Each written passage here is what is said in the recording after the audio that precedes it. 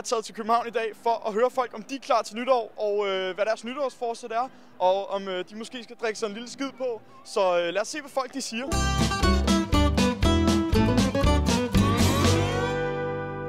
Er I klar til nytår? Ja. Ja, vi er så klar. Ja.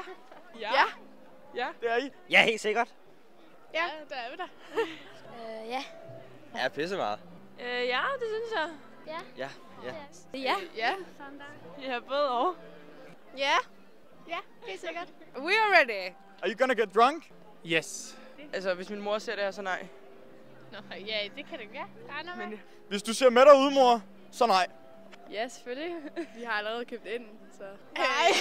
Ja, Bare rulle jeres øh, møder, ser ikke med derude.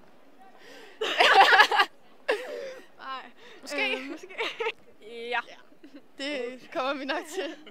Øh, jo, det havde jeg i hvert fald tænkt mig. Du, lige, du starter lige med noget... Øh, Ja, ja, ja, ja, ja, ja, ja, skide jeg i skide gang her om en Ja. times tid, så fortsætter jeg så hen ad vejen. Fantastisk. Har du noget øh, nytårsforsæt? Øh, Ja, det er nok at stoppe med at ryge. Det lyder som et rigtig godt nytårsforsæt. Ja.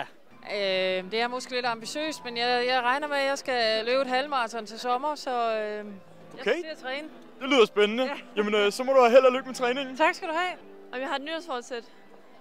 Og ja, måske også spare nogle penge sammen, og ikke bruge så mange penge på alle mulige unødvendige ting, så jeg kan flytte hjemmefra en gang. Er det shopping, vi taler om? Ja, det tror jeg, det er. Ja, jeg skal begynde at træne og spise sundt. Gå i fitness. Det er ud over, at jeg lige har startet fitness. At man, jeg vil gerne gå lidt mere i gang. Sådan, træne lidt mere. Jeg vil bare gerne tjene nogle flere penge og sådan noget. Og træne.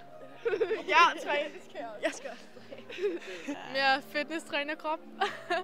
Træning en hel del. Ja, det er nok det. Træning, den er der rigtig mange, der siger sjovt nok. Der er ingen tvivl om, at København er klar til det nye år. Det er jeg i hvert fald, og jeg håber også, at I derude er. Og øh, ja, så ses vi i det nye år til masser af fitness. Og øh, hvis I gerne vil dele jeres nytårsforsæt, så skriv det ned i kommentarfeltet. Vi ses. Der er noget galt i Danmark, Dybbølmølle maler helt af helvede til. Bare tegne drengen er i orden, kan man få det som man vil. Blæse vær med andres mening, selvom det er dem, der står for skud.